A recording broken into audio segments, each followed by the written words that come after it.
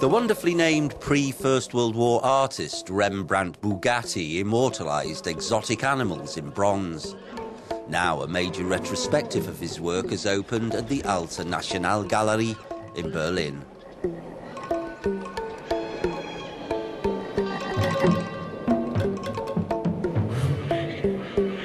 I think Bugatti was a very serious artist. He did not portray animals as heroic or them fighting or as status symbols for the upper classes.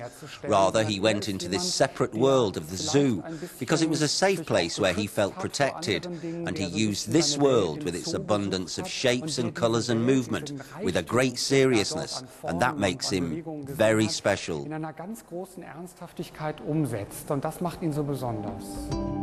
In fact, Bugatti never set foot in Africa or Asia.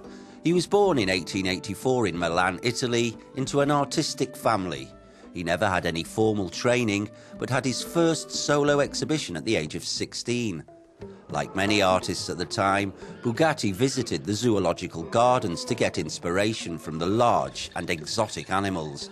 He would often spend weeks just observing an animal before starting work on a subject. He would put an apple on the other side of the enclosure so the elephants had to twist and stretch to get it. In that way, he was able to observe the nimbleness of these huge animals and represent it in the work. The First World War led to a collapse in the art market and the culling of zoo animals for food. It was all too much for the young artist, who gassed himself in his studio in 1916 at the age of 31. Thank